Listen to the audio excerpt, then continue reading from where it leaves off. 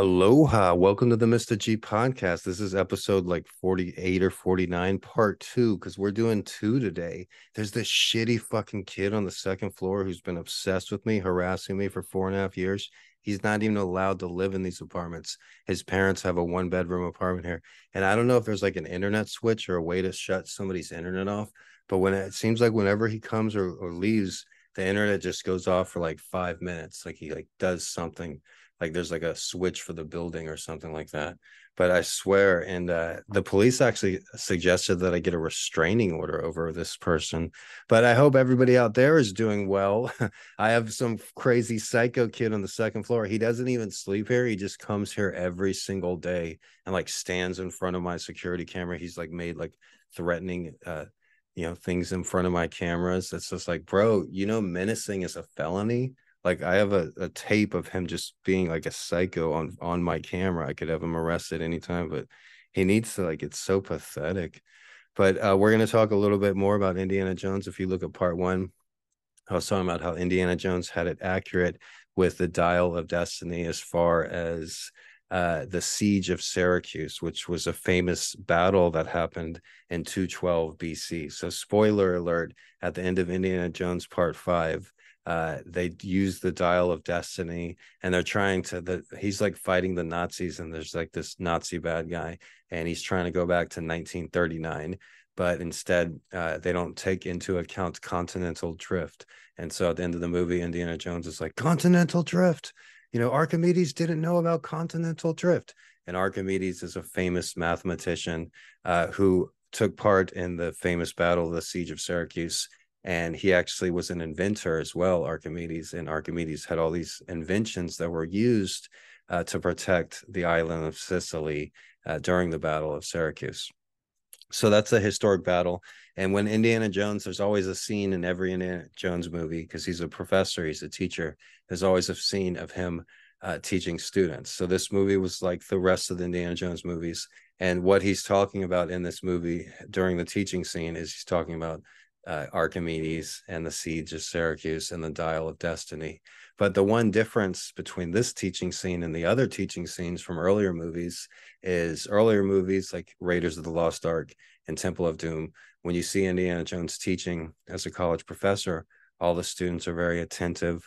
Uh, he has a lot of female students and they're all listening to what he's saying. All eyes are on him.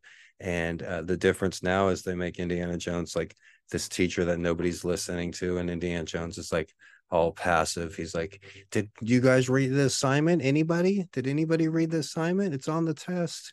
And that was kind of lame that they did that to him. And there the, there was a few lame instances of the movie where they added unnecessary characters and they had like a certain dialogue that was like not just cheesy but it was just like added like for certain framing reasons. And it's like they had to meet the requirement like they had like this like 1970s like black power girl and like her storyline was kind of confusing like whose side was she on? Was she a nazi uh, sympathizer or something? And then they had uh uh in tangier they had uh the lead female lead's ex-husband or ex-boyfriend all of a sudden like jumps into the car chase and the car chase was cool. There was like a three-wheeler car. It reminded me of uh, some of the uh, electric three-wheelers they have out now that are really popular. Shout out asimoto i think it's called. But uh Arcimoto Arcimoto. But um but yeah um archimedes was a real person. And the ending of indiana jones like i said they go back to the year 200 bc but then they all of a sudden ended like kind of like cheaply where he's like i'm staying here and he like gets shot and supposedly I, from what i read that's how the movie ends uh, in a lot of theaters. I must have saw an alternate version but indiana jones uh, gets shot and dies in 2 to 12 bc uh, i think that's the, the the version in the theaters but the version that i saw the female lead's like no you're coming back with me and then punches him and then he wakes up and he's in a different reality where he's married to Marion, who is like an older woman, and he's like an older man, and they're like a senior citizen couple in New York City. And it's a real sad way to see Indiana Jones, you know. Indiana Jones need to be, needs to be riding in convertibles, banging bitches half his age. You know, that's what Indiana Jones needs to be doing. That's what we want to see. All right. You can still have the whip. Uh, but Indy, come on, you know, you don't want to like retire in New York City. And and nobody's gonna watch a spin-off of that new character. And like I said in the earlier podcast, watching the new girl jump on moving planes from a motorcycle or jump on moving cars that was like too far fetched. It's like, whoa, whoa, whoa, Indiana Jones is supposed to be doing that. And he's just like the, a background like character and uh, at times and what in the action sequences. So that's where they got it wrong. And, uh, but overall, you know, if you like Indiana Jones for the history and the archaeology and the fighting the Nazis, then it was good. And, uh, you know, I enjoyed it on, on a scale from one to 10, I give it seven out of 10. But, but yeah, Archimedes was a actual person and, um, it's good that it came out on 4th of July weekend. I kind of went off about uh, my neighbor out there, but he's not even my neighbor. He's my neighbor's kid. Like he does, he's not even allowed here. Terry just comes here every single day. I guess he's homeless and lives in his car. But uh, the thing is about a car, I remember one Fourth of July it was like 1996 when I was like 15 years old. And um, I was hanging out with my brother, and our friend Benny was throwing a party, but for whatever reason, my brother Michael wasn't allowed there, and I was allowed there and could have went to Benny's party, but Michael was like, "No, just hang out with me." And so we are both 15 years old. He's my twin brother, and so we go to like some like playground area and like we smoke a little weed or whatever, and we're just hanging out there, and like the fireworks start, and uh, I'm just hanging out with him, him, and I was thinking like that's the right thing to do, but it was it was selfish of him not letting me go to the party. But I'm sitting there with him, and he's just like talking about himself, and he's like, "Oh, if once I get a car, things will be different. All all I need is that car." And, and he was just talking about it over and over, and and I was trying to explain to him what, what like like well, Benny's party's right there. You know, even if you had a car, you know, things wouldn't be that different. But uh, some people they just obsess about that. They think and maybe it has to do with the commercials brainwashing people to thinking that's the most important thing. But you see a lot of young uh, impoverished people men that like lease cars every month like my brother stupidly. And back then you know a young person with 18 19 20 you don't have good credit so you're going to be paying monstrous amount of interest and fees and insurance and all for what just to look cool, but you don't really look cool. Uh, a famous expression is the only people that buy new cars are really rich people and really poor people. And so uh, I see particular people that grew up here and they grew up in really dismal circumstances and sh- not even having their own bedroom, not even like having their own space and not knowing boundary concepts of boundaries where they yell in my fucking window or think that I'm competing with them or something but but th- i see them they they lease this car and they think that's just going to change everything and like that's just going to give them so much freedom and and so much uh, uh everything and and it's kind of sad because and, and it changes their personality and, and it does improve confidence in people i suppose but it's the wrong kind of confidence and that's why you see so many people having road rage incidents a completely normal person that would never get upset or lose their cool that you put them behind a 2000 pound automobile and that somebody uh, uh, you know upset peeves them off and they're they're like a fucking madman like willing to go to any extreme to fucking uh, a stranger you know? Like even if it's like a little guy big guy you cut me up i will fight you. I will it's like i will roll around and sweat and get in prison for you for you stranger stranger that i don't know. It's like what the fuck?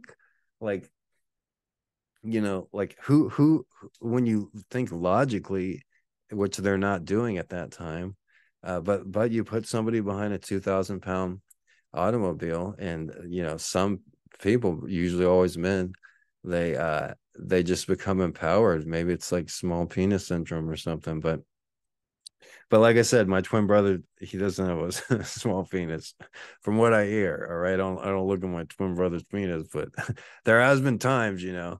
Look, I'm I'm not a big fan of penises at all. Anytime I've seen penises, it's been like a traumatic experience. You know, it's been like in county jail or like boot camp or something.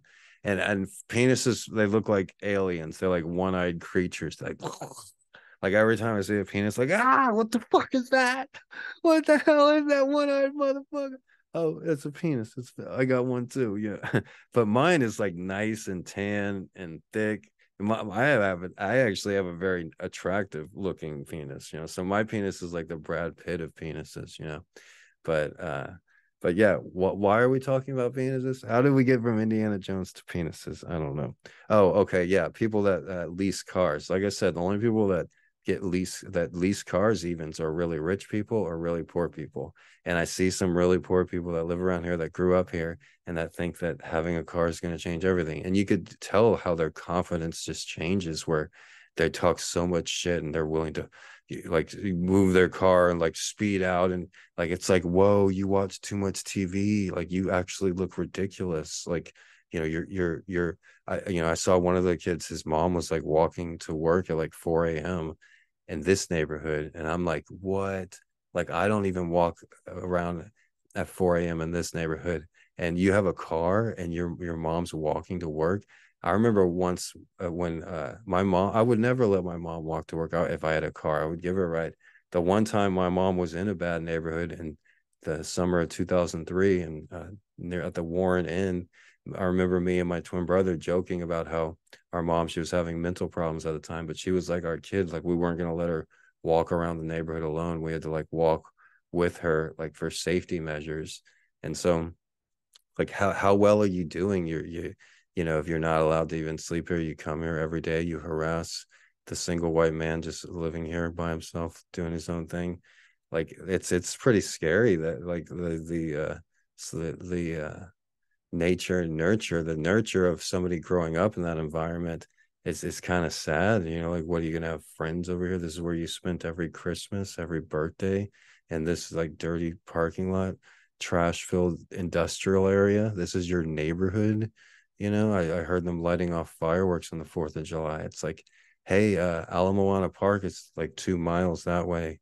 You know, like uh, Kapiolani Park, like a big fireworks shows. You know, you're not like hiding in an industrial area apartment, and not even hiding, like hiding where they don't tell anybody their names or their age. Like I've lived here four and a half, almost five years, and the majority of people are afraid to tell me their names from day one and that includes their kid. Why why are they afraid of saying their names? Are they what here illegally or something? You know, my name is Gregory Brandt, you know.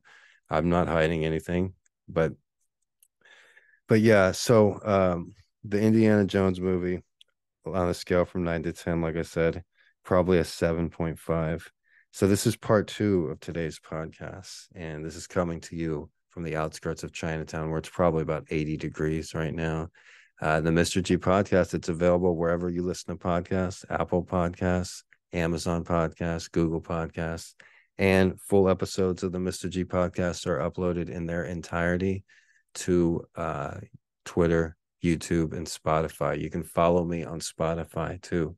I'm not going anywhere. New episodes every day.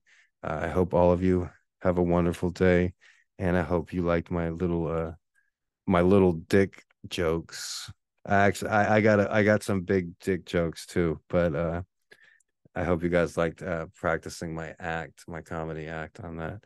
All right, everybody have a great day. Check out my uh TikTok videos of me feeding the street kitties and me and the street kitties. We bid you mahalo and aloha.